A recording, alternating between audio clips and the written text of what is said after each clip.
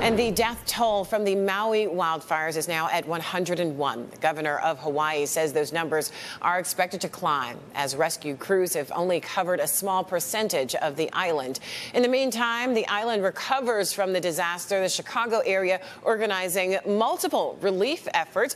NBC5 Sandra Torres joining us now live from O'Hare International Airport to tell us more about that. Sandra.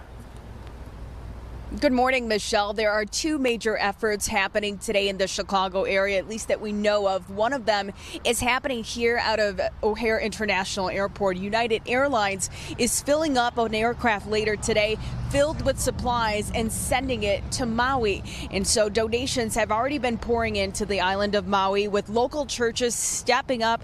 Here in Chicago, though, United has teamed up with several organizations to send a large shipment of canned goods, baby formula, even baby care kits and hygiene kits for use in shelters that have been put in place on the island. That flight leaves at 4 p.m. today. Also happening today, the Northern Illinois Food Bank. They're set to 40, uh, send 41 pallets of dry goods from Aldi in partnership with Feeding America. The full truckload will leave for California today, and then it'll be shipped to the Hawaii Food Bank in the coming days. And this comes as President Biden approved a federal disaster declaration for Maui, which makes federal funding available to aid the recovery. I spoke with the president this morning. We speak often. He and Jill Biden extend their absolute love and heartfelt uh, regrets about the tragedy that's occurred. They're heartsick that we've lost these 101 souls.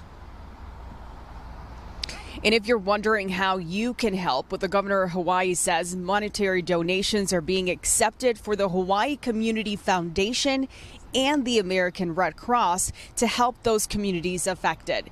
Now, back here at O'Hare Airport, United Airlines says that flight that's headed to Maui today with supplies, well, it's also expected to return full with passengers who've been trying to get out of Hawaii for the past day, few days uh, since disaster struck. Reporting live here at O'Hare Airport, Sandra Torres, NBC5 News.